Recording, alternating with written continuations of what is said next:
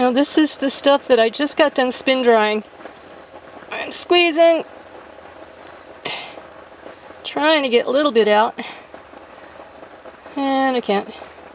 This has got more roots than normal, and the other species that I have have roots that are three inches long right now, which make it really hard to put through a regular trash pump, but I'm gonna have to give it a shot. Any rate, that's what the uh, washing machine's doing for it.